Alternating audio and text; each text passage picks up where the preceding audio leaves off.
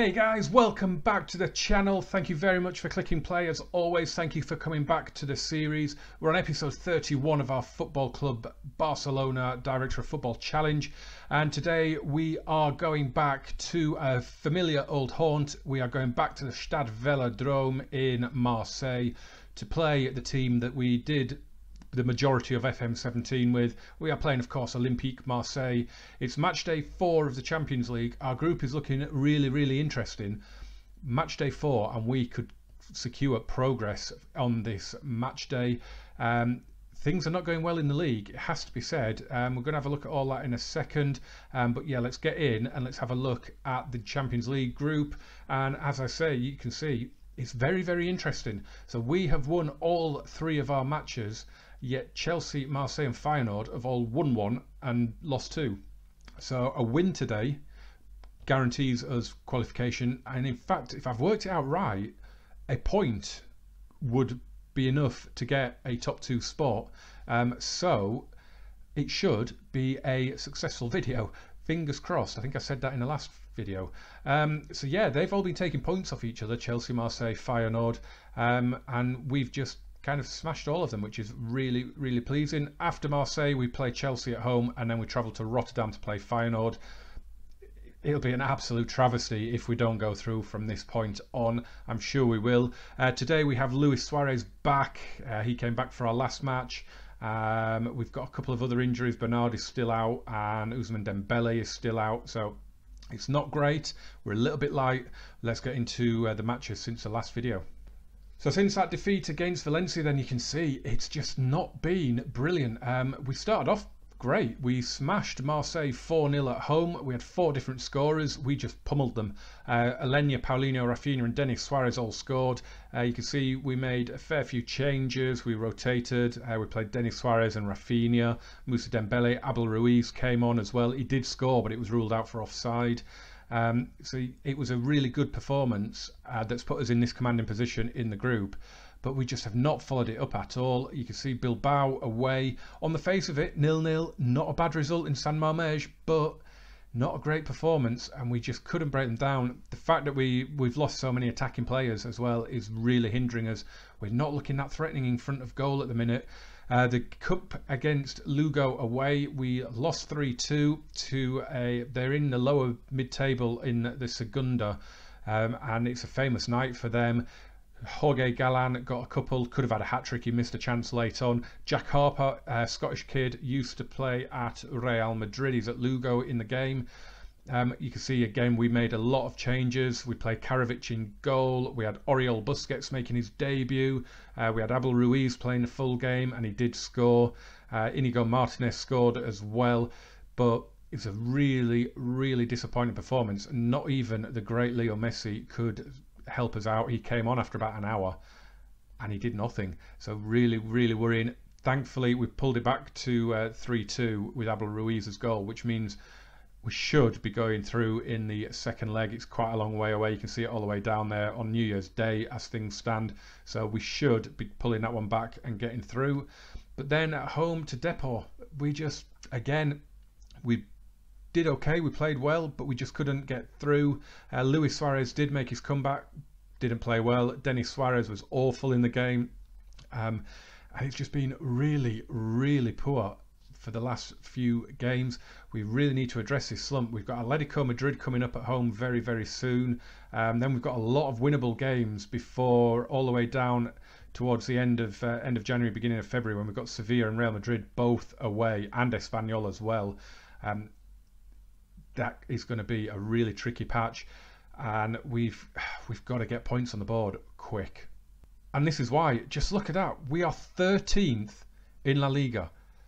13th. We're Barcelona and we are 13th in La Liga after nine games. I mean, this isn't after two or three games. This is a quarter of the way through the season and we are 13th. Um, thankfully, while we were drawing those two games um, nil-nil, other teams have also dropped points. Valencia, I think, have drawn the last two as well. I think Atletico Madrid have as well. Real Madrid are the ones that have been making the ground up. They're back up now, level with the top two.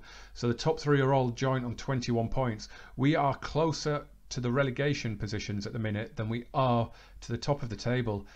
this is not going well. We really need to turn this around. At the moment, I'm blaming the director of football for selling the likes of Deulofeu and Di Maria and um, all the. Who else did he sell? De didn't he? And and I don't think he's replaced them very well. And injuries have not helped, of course, but it was a really, really poor transfer window, I think.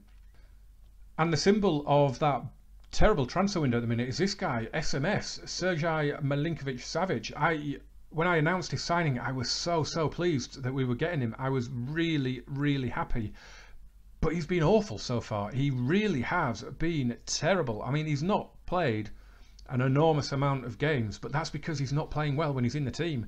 Um, so he, he's made seven starts with six substitute appearances, and he's he's only got one assist. Um, he's got a 6.82 average. You can see his last five matches down here. He's only averaged a 6.72. He's just he's just not been good. If we have a look at his overall form since joining the club, I mean, look, he's had one good game against Chelsea at Stamford Bridge on match day one of the Champions League, where he got an assist. I think he got man of the match that day as well. Other than that, he's been absolutely rubbish. So here we go with the match preview screen, and you can see we are the favourites, despite our horrible run of form. I mean, look at that. Just one win in our last five, um, just one defeat in five for Marseille, which was the game at uh, at the Camp Nou, I believe. Um, so we are favourites. Referee, Italian guy, he's not shown any red cards yet in his four matches in the competition. And again, we just look at that that group, just there. Just got to focus on getting through the group now. Win today, and that is it. Um, win today, and that is probably the group one, not just qualified. So let's get to this. Let's pick our team. Here it is. We're going with Luis Suarez up top because he is back from injury, desperately trying to get him back up to match fitness, back into form.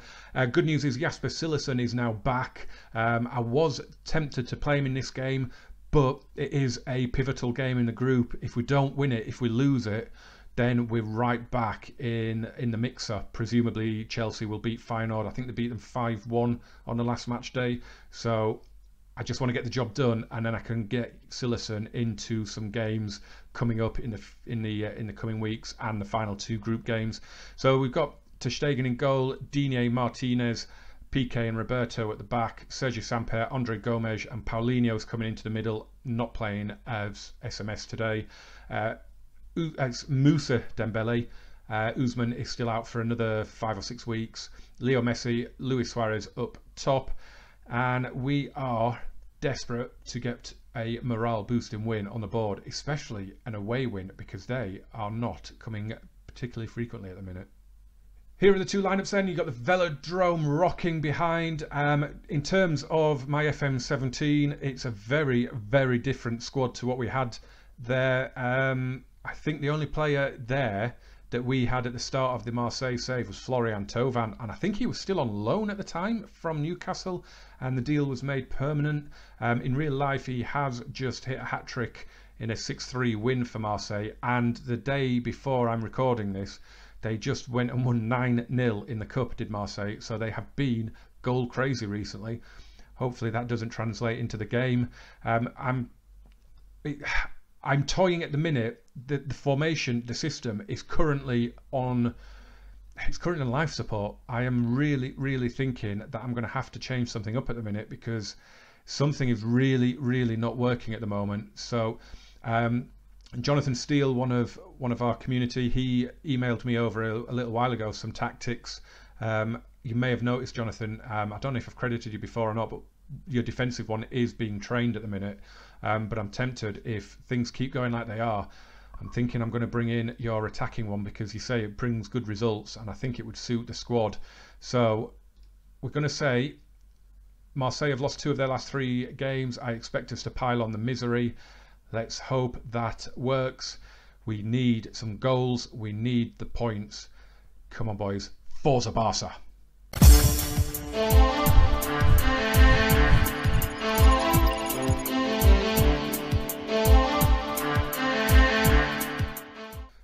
So the camera zooms in as the players come out onto the pitch and we are ready to go. We get the game underway. Come on, boys. Show me some fighting spirit. Show me what you are made of.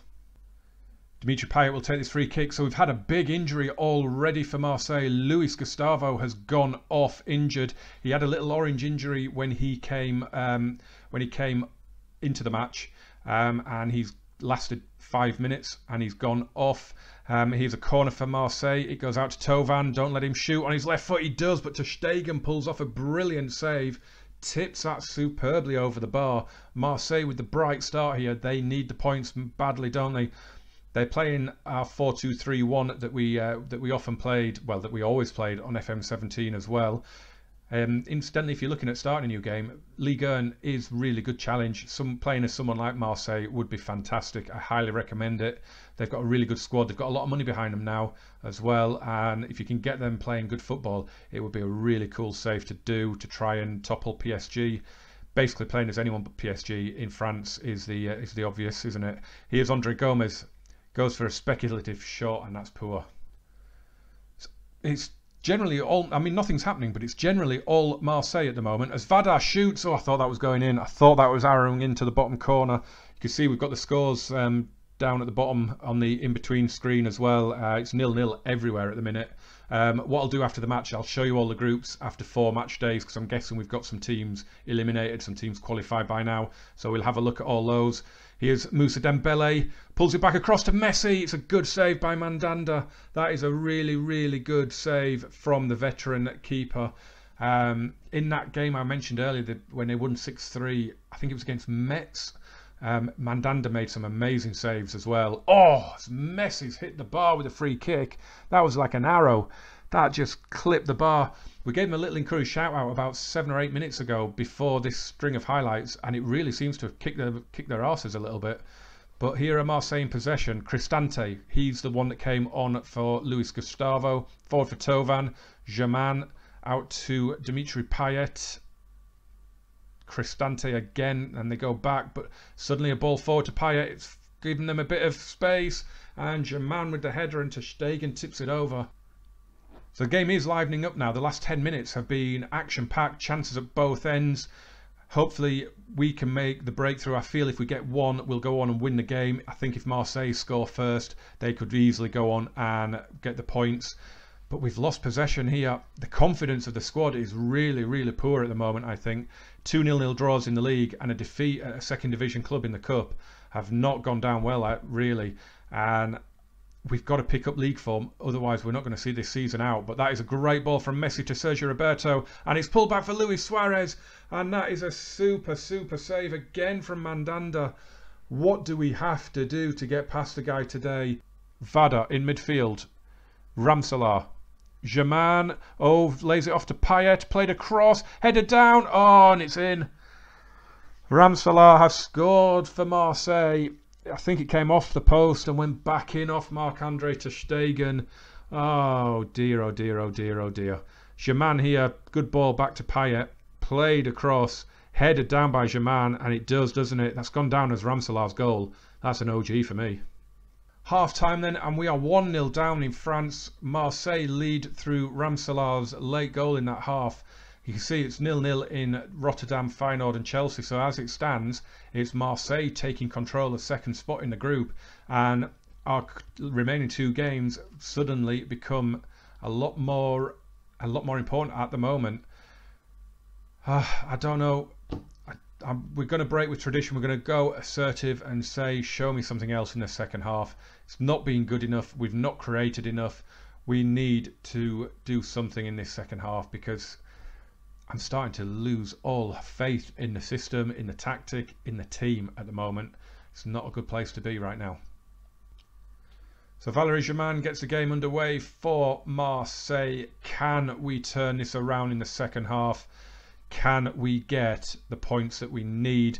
Uh, Liverpool leading 2-1 against Espanyol. They've come from behind in that game. Here's Payet, Ramselaar, the goal scorer. Cuts it into Germain and ter Stegen called into action straight away in the second half. I can only see one team scoring at the moment and they are not wearing red and blue. Here's Germain on the halfway line to Payet. He's going to get tackled though by Sergio Roberto. Here's Messi. Come on, lads. What can you do? Leo Messi to Luis Suarez. In for Moussa Dembele. And Moussa Dembele, the former PSG trainee, has equalised for Barcelona. That is a huge goal for us. That's a huge sigh of relief for us. Messi drove forward. It's the first time we've really threatened, and Mandanda couldn't keep it out. Come on. Just on the hour mark, then, two substitutions to be made. We're bringing Ivan Rakitic on for Sergi Samper, who has been booked. The last thing I need in this last half an hour is to be going down to 10 men. And uh, Rafinha coming on for Andre Gomes in central midfield as well. Leo Messi's looking really, really tired. It's unlikely that he's going to see out the game as well. I'm probably going to look to take him off next. Um, let's hope these substitutions work. Here's Luca Digne Switches the play to Messi, just about gets there. Rafinha. Luis Suarez has been pretty anonymous as well at the moment. He Here's Moussa Dembele to Paulinho. Messi. And Dembele's in. Oh, he scuffed the shot. What a chance. Elizondo to take this throw. So um, Carlos Aleñá has come on for Leo Messi and Rafinha's gone out onto the right wing as the inside forward. Aleñá into central midfield. Here's Payet though, got some defending to do. And it goes looking for Germain, glancing header, no power though. ter Stegen eases, easily saves. So it, it's level in all games. I think it's still nil-nil in Rotterdam. So as it stands at the minute, we are going to be going through um, and we would just need a kind of a point to to win the group. Probably not even that to be fair. Um, but it's been another average performance. It's a little bit better than we've been doing recently, but it's not been spectacular. And we could be in trouble here as Mitroglou has it. He's just come on. Dimitri Payet, runner on the left. Here's Cristante. Vada got a lot of width here. Here's Horta carrying an injury, but he's got past his man. It didn't look like he was carrying an injury there, did he? And ter with a vital intervention. Mitroglou had a free header if ter hadn't got there. Come on, Marc, what are you doing? Why are you time wasting? I need the win. Here's Piqué. Rafinha. Come on, Aleñá now. What can you do? A lot of creativity in this kid. Plays it down the line to Dembele. Pulls it across to Suarez. That is what we needed. Luis Suarez in his second game back from injury puts us in front. That's more like it, boys. Carlos Aleñá heavily involved. Should have played him from the start, shouldn't I? Carlos Aleñá future of the team. Dembele plays it across and Suarez sweeps it in. Lucas Digne to take this throw. Here's Aleñá Rakitic. Paulinho goes for the goal and Mandanda tips it over. Still goalless in Rotterdam, which does surprise me. Really thought after that 5-1 at Stamford Bridge that Chelsea would win. Here's Aleñá looking for space to shoot and he's dragged it well, well, well, well wide. So if we just pause it here, you can see as things stand, we will not only be qualified, we'll have won the group with two games to spare. Um, just double check the latest scores. Um, oh, Lazio have come from behind against 10 men. Not surprised there, is it? Uh, Chelsea have scored. In the 82nd minute, Chelsea have scored, even though we're in the 80th. Um, right then. So Chelsea have scored. Oh. okay then. So Chelsea are now on to six points and it is all of a sudden we need a point again to win the group, but we are through. We are through as things stand. We have qualified. Four wins from four. But can Marseille change it around here? It's Mitroglou and ter Stegen with a big, big save. Keeps it at 2-1. Keeps us on 12 points and a perfect record. And Rafinha now. Can we get forward in support of the counter? Go on, Rafinha. Pulls it across to Dembele. Got Lucas Digne on the outside. Here he is. Lucas Digne. Uh, clips it into Suarez. Rakitic to take this corner. Goes to Aleñá again. And Aleñá, oh! I think that hit Mandanda rather than him knowing anything about it. That just came through a crowd of players. That had just been a few inches further to the keeper's right. He was beaten all ends up. Same corner routine again. I really don't know why they do this all the time. But, ah, it's offside. What a ball in from Aleñá. What a little cross in that was. But it doesn't count, and I don't know why we're seeing a replay of it. It's not set to do it. What a cross in that was, though. And Suarez's header was disallowed. Don't know why it showed a replay of that. That's bizarre. Um, Chelsea then are on six points. It looks like they're going to hold on there. Um, so after losing their first two group games, they've come back with two straight wins. Can Marseille grab a late goal here? They've got a corner. We're over the four minutes. Payet suddenly looks urgent, takes it. Oh, and Cristante got his head to it. Ter Stegen keeps hold and he throws it out. And there it is. The final whistle apparently brings this absolute classic to an end. It was a good game. Classic is probably a little bit uh, ambitious, but we've won. We've got the points. We're four wins from four. We are through. We are pretty much going to win the group. I don't think there's too much danger of that. Absolutely great. We're back to winning ways on camera after that horrific game against Valencia. And we are just calmly going to say, you've done brilliantly to come back and win that. I'm proud of you. Need to G them up, need to really pump up their confidence coming into this massive run of fixtures that we've got coming up now. Whew. Relief is the overriding emotion. Okay, guys, let's have a look at all the Champions League groups then after four match days. And you can see Group A, Real Madrid are currently top. They are as good as through three wins and a draw. They are clear of Shakhtar. Um, it's a shootout between Shakhtar and Leipzig as to who goes through.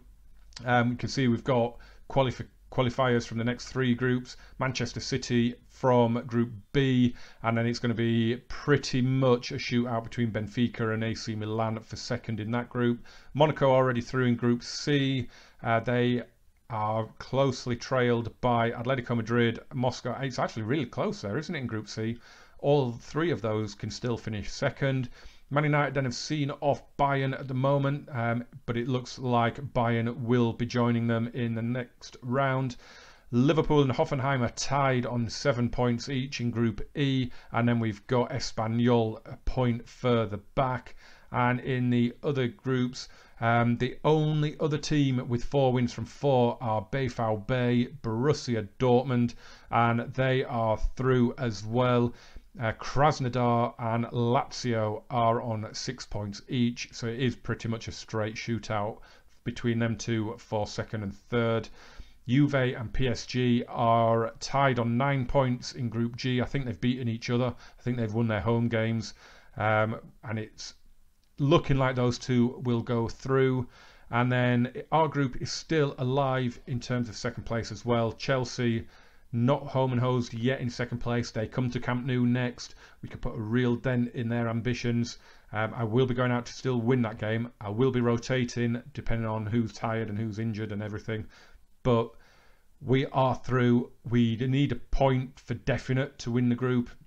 Um, but all that matters is that we are through. So that is going to be the end of this video, guys. Thank you very, very much for watching. In terms of the next video, I'm not 100% sure what I'm going to do at the moment because I'm recording this on a Wednesday and it's probably going to be a couple of days until I record again and it's possibly going to be quite a bit of playtime in between. So it may be a case of we end up in the new year it could even end up being as far down as this Sevilla Real Madrid area here. We could be all the way down there before I record again. Um, I'd like to do the Classico on camera, but I am aware it's at the start of February and it's only a couple of weeks before the last 16 of the Champions League. So depends how the league form's been going. I might do a video before that, um, but again, not going to promise which match it's going to be because I don't know where I'm going to be when I next record. But we're back to winning ways. We've got a couple of goals. We've got a big, big win, our first in four games. Got to smash that like button for me, guys. Hit subscribe as well and turn on the notifications. Get involved in the comments as always. Let me know about the tactic. Should I just persevere with it now that we've won again? Should I stick with it? Other than Atletico at home, we've got a lot of winnable games coming up. So I'll probably stick with it for a few games, I think. Let me know what you think. Um, and thank you very much for watching, guys, and I'll see you for episode 32 really soon. Bye bye.